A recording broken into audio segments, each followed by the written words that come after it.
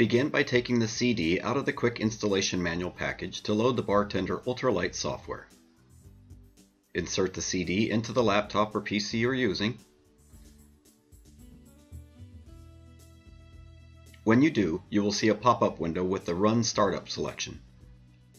Select Run Startup1.exe to install the Bartender UltraLite printing software. Click the Bartender logo link below.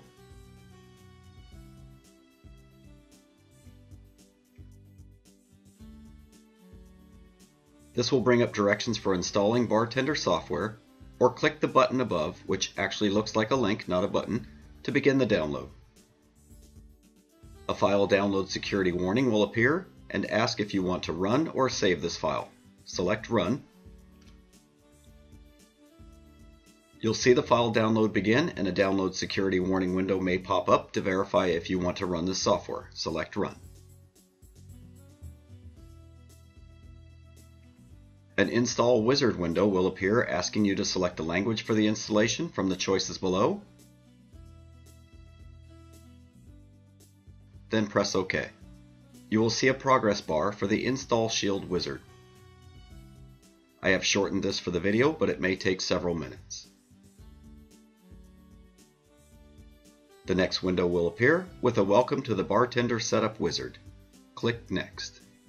Please read the following license agreement carefully, then select I accept the terms in the license agreement, then choose Next. An installation options window will appear with a default of Bartender and sample documents selected, and an area to browse to a location if you choose other than the default location, then select Next. An Overview Options window will appear and reads Ready to Install, giving you the installation path and the components that are going to be installed. If everything is correct, select Install. This will begin the installation of the Bartender software. In the notes here it says it should take just a few minutes when installing from the CD. If you're installing from the web, this time will vary depending on your internet connection. There is a link for Bartender UltraLite software on business.toshiba.com as mentioned in the driver section video. Installation is now complete and you can select Finish.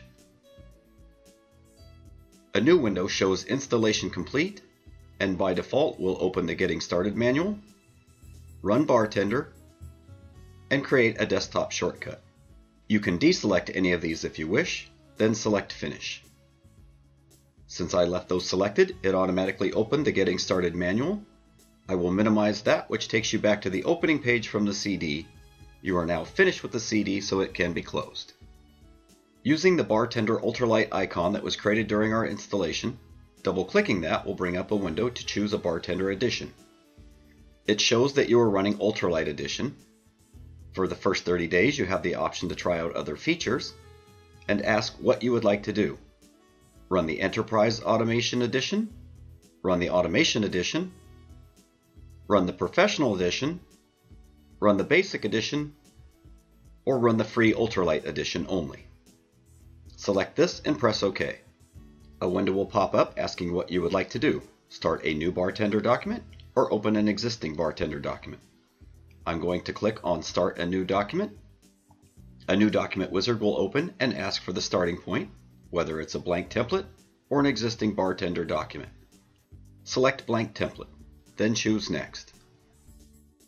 Next is the printer selection to specify the printer for use with this document. Previously, I chose the Toshiba BFV4 as my default printer. I will leave that selected and press Next. You will then enter a stock selection to specify a custom setting or use a predefined stock. If you select a predefined stock, it will show the stock names. I am using 4x6 labels, so I will choose the 4x6 as my template size, then Next.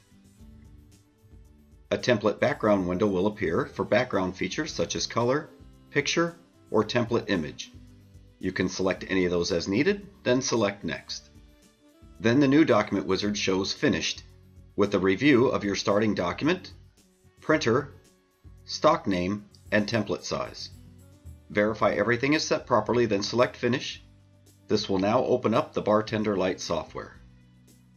I'm going to choose just a few items from serialization just to put something on the label.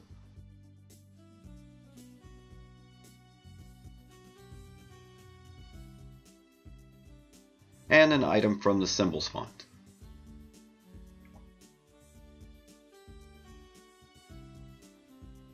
As you can see across the top toolbar, there are a lot of different options similar to a Word document. We can add text by selecting here. I'll choose single line. And by default, it says sample text. You can type your own text here, but I'll leave it as sample text. At any point, we can go to File and Print, or simply choose the print icon from the toolbar, which will bring up our print document window. This shows our printer name, status, model, port, as well as the quantity of serial numbers and the copies per serial number. We can now press print to output our label to the printer. This startup roll of labels that came with the printer are perforated so we can tear it off and are ready to use our output label.